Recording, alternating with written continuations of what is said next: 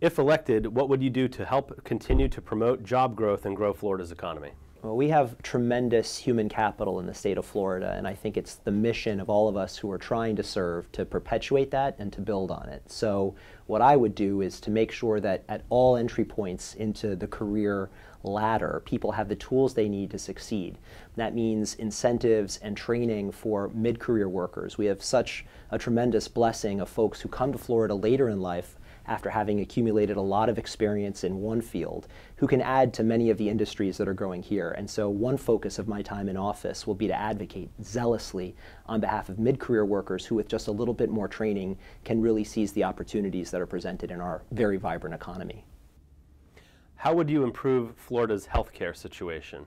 Healthcare is something I feel very passionately about. My wife is a physician. She's an internal medicine doctor, also a pulmonary and critical care specialist, and so she uh, spends a lot of time in intensive care units where a lot of the spiraling costs of healthcare is felt at the most tragic times, at the end of life, when he healthcare issues can be ruinously expensive for families. So I believe at a very personal level on transparency. I think folks need to understand what healthcare costs in order to make wise decisions for themselves and their loved ones. And so I believe in having a focus on the cost of healthcare and on the transparency that we as, as legislators can bring to that process by insisting that folks have the information they need to make sound healthcare decisions.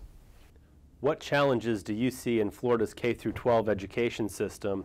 And if elected, what would you do to address those challenges? I think we have a, a, state system of K through 12 education that has come a very, very long way and still has a long way to go to being a really world-class system.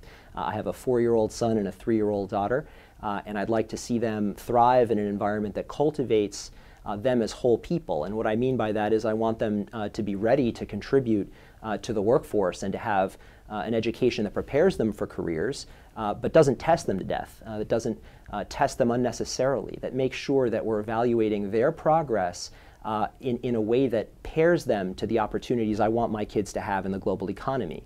And so I believe in focusing our K through 12 reforms on uh, making sure we're testing the right amount and for the right purpose. Um, you know, a good friend of mine once said that if you can't measure it, you don't know whether it's a success or a failure. And I believe in measuring for what we want to measure. And that means growing true students, making them successful, giving them the tools they need to succeed, and not by testing them to death, but, but making sure that they are, are able to function and contribute meaningfully to, to, to our economy. I'm John Couriel. I'm running to be your advocate in Florida House District 114. Come visit my website at www.johncouriel.com. Thanks.